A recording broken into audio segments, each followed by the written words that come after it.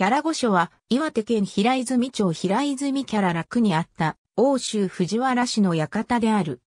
あずま鏡文治5年9月17日上によると、無料行員東角構一角号キャラ御所、秀平常居所なり、安平愛、次のため居所縁、と記述されている。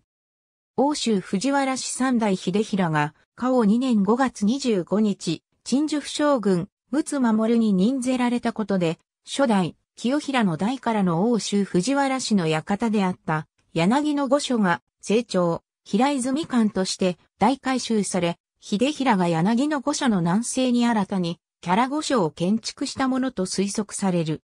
以後四代、安平の代まで、藤原氏の館として使用され、藤原氏の子息たちの屋敷も周囲に立ち並んでいた。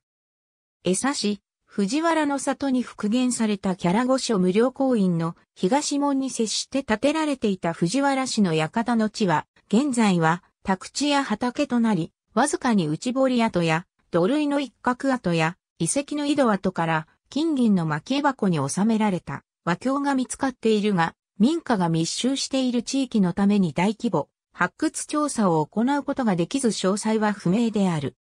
隣接する欧州市の歴史公園、江差市、藤原の里では、キャラ御所が推定復元されており、平安時代の神殿づくりの様式を再現した日本、唯一の建造物となっている。ありがとうございます。